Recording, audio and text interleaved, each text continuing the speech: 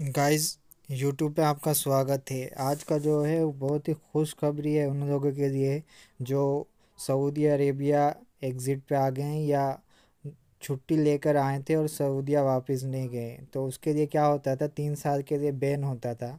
अब क्या हो गया है? वो बैन हटा दिया गया है। जो भी बंदा एग्ज़िट आया या छुट्टी पे आया और वापसी कंपनी नहीं गया।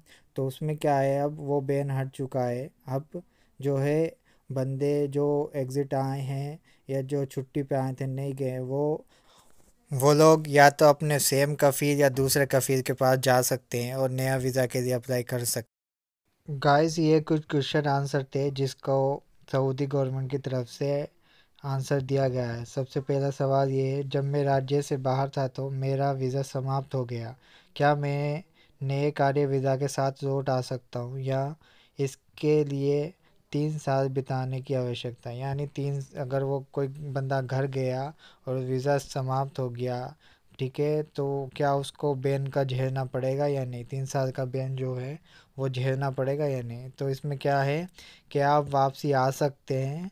हाँ आप वापसी आ सकते हैं।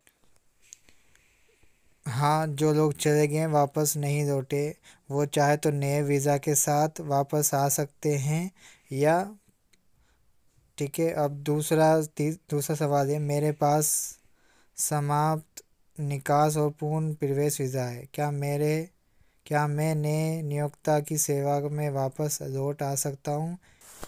या क्या केवल पीछे नियोक्ता की सेवाओं का उपयोग करना आवश्यक थे?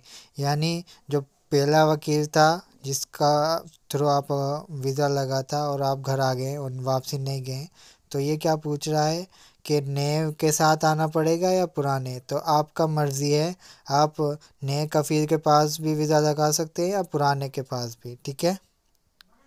वीडियो पसंद आए तो लाइक करें और चैनल को सब्सक्राइब करें और जो भी ज़रूरतमंद है उसको शेयर करें। धन्यवाद, शुक्रिया।